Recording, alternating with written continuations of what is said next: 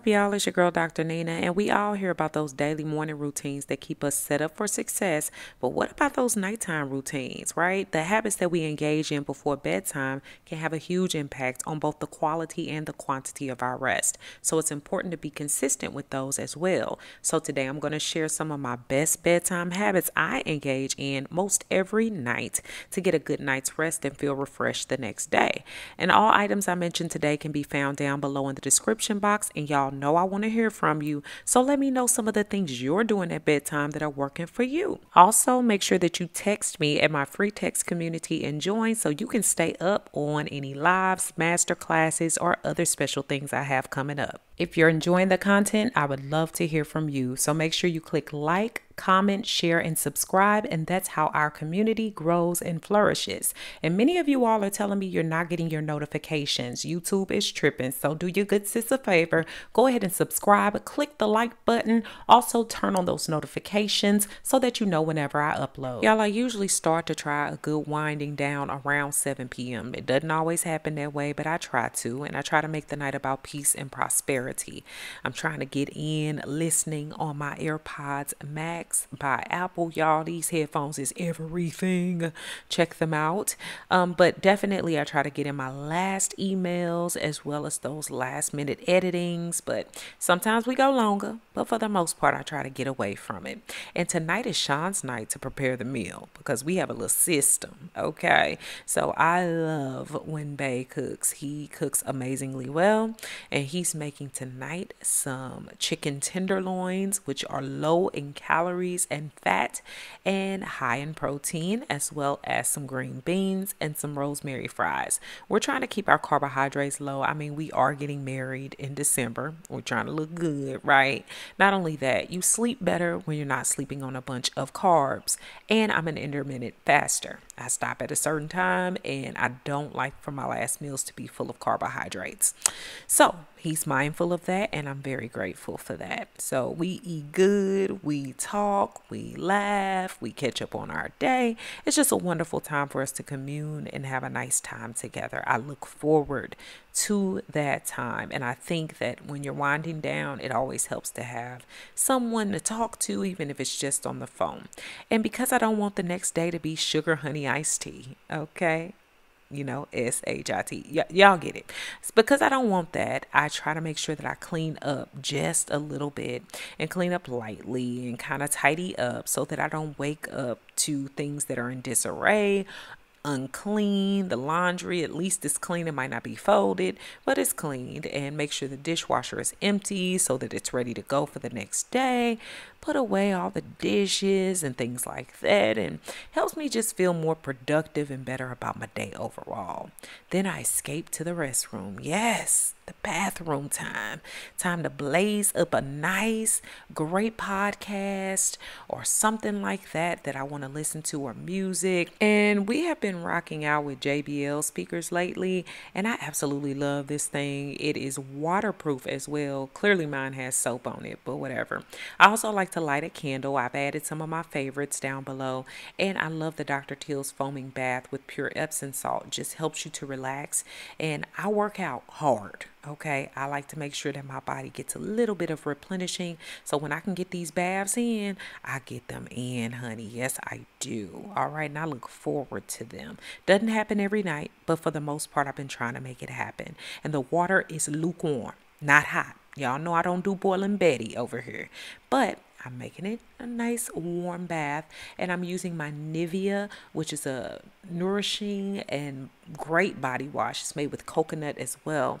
And it just feels so good on the skin. It's so soothing. Remember before bed, you just want to feel calm and soothed. And these are great. And I'm using my African sponge as well, which is amazing for removing or helping to remove those dead skin cells and exfoliating nicely without being super harsh on the skin. Skin. I also towel blot the skin dry in order to maintain some of the moisture. And I'm going to be using my Nivea Soft Moisturizing Cream all over my body. I love it because first off, it's inexpensive, but it's also thick and rich. Y'all know I love Eucerin, but this stuff is good as well. I also love my body butters. But I'm also using my almond oil mixture. You all can check out some of my videos from the past where I've made that mixture and shown it to you all. And I love putting that over my body. It coats it so well.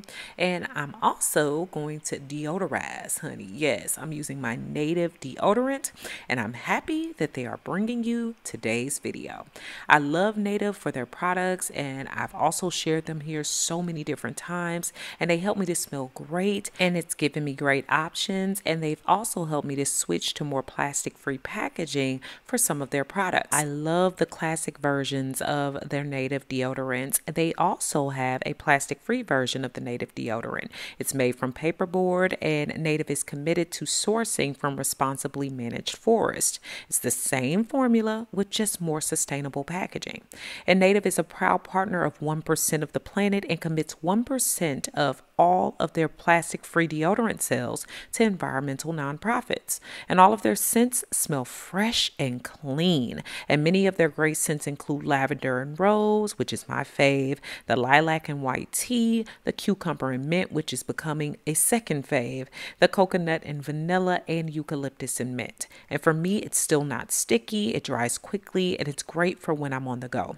It's aluminum free, vegan, and cruelty free. Now, three plastic free deodorants normally are $39, but if you use my link and code BABYDOL10, you'll get them for $29. That's 25% off. After I finish, y'all, I have to make sure that my body setting is set, and I'm using the Tokyo Milk Eden. Y'all, I love this stuff and discovered it on Amazon. So check out the link for that. It smells so good and calming. It just gives you everything you need.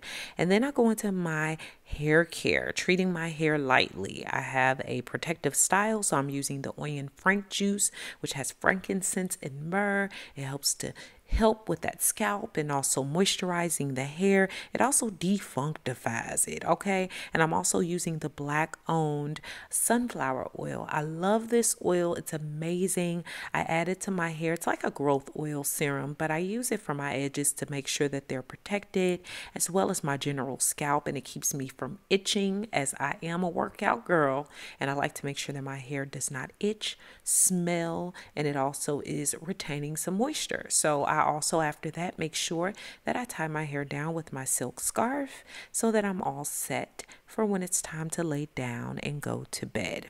Then I go into my skincare routine, which y'all know I love. And I love to double wash at night. And it's great to wash your face at night because it helps to repair your skin. So I go in first with my Purity Made Simple, which is a simple and easy, lightly foaming cleanser, as well as the Panoxyl. That's my second wash. And Panoxyl, if you're fam- familiar with it, it's good for the whole body.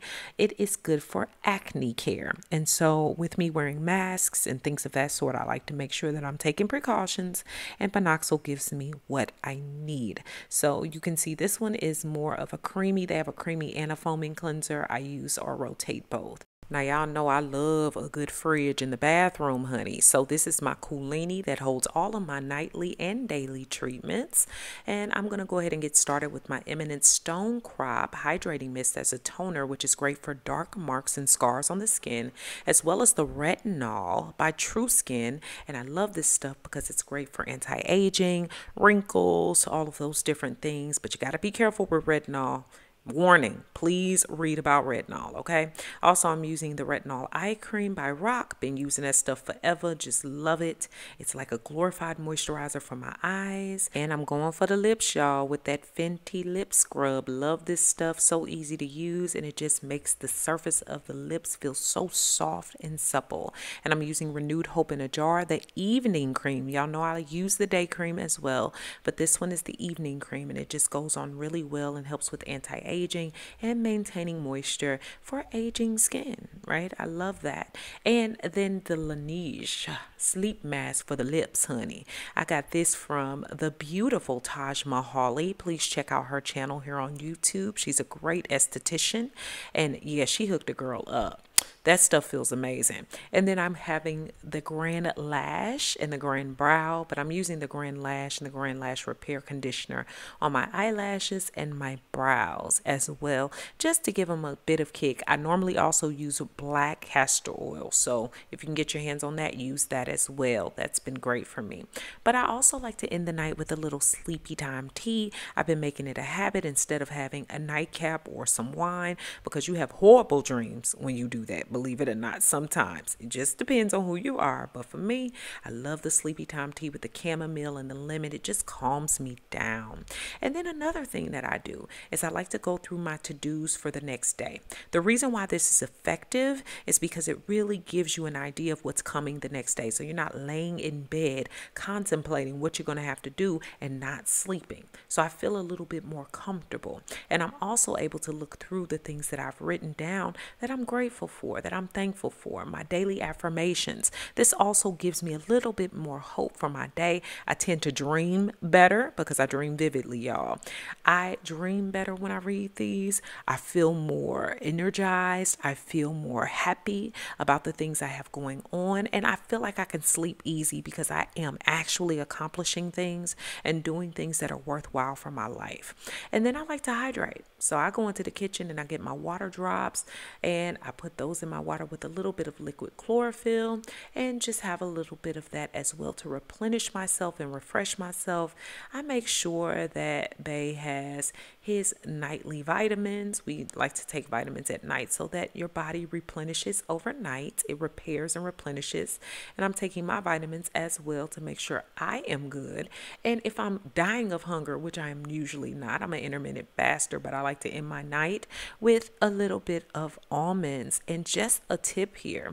If you're into almonds and cashews and things like that, they have a little bit of melatonin in them, which helps you to sleep better. And then I go into my serious teeth routine. Yes, I use my Panasonic water flosser, y'all, that thing is everything, and my Sonicare toothbrush, and just some basic Arm & Hammer advanced toothpaste. Y'all, leaves my teeth feeling amazing after the whole process. I feel like I've done something good for myself. My teeth look good, they feel good. They, you know, they just doing the thing and they ain't dusty, all right? And then I like to pray and meditate. This gives me clarity and a peaceful way to end the day.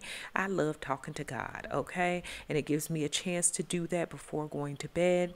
I also like to set my alarm, and I'm intentional about that. I try to make it for the same time every day, even on the weekends. It just gives you more of a hopeful place to be and also gives you things to expect. I also turn my phone on Do Not Disturb, and then I end my night by reading something that gives me some uplifting motivation. You know, this is one of the things we overlook. Reading soothes you and relaxes you, and I fall asleep quickly when I read. Okay, no cliffhangers and no craziness before bed because I can't sleep well. So I hope y'all have enjoyed my video on my productive night routine. Remember that keeping a routine at night is just as important as your morning. In fact, it fuels your morning. It's all a cycle. So make sure that you comment, share this video with someone who can use it, and subscribe. Thanks so much for watching, y'all. Beautiful brown baby doll. Peace. Check the links in the description for my free new Dr. Nina's Mentorship Facebook group, which is a group of like minded individuals looking to progress, grow, and support one another along the way. The Now That's Life podcast is about to go into season two, so I suggest you go ahead and subscribe to the podcast on all your major podcasting platforms. All descriptions and links for that and my free supernatural video course are found below. Thanks so much for all the love and support over on my new website. If you haven't already, go ahead and check it out and join me for new ways to interact with me, giveaways and prizes, weekly emails, as well as my free eight day supernatural video course, which is free when you sign up.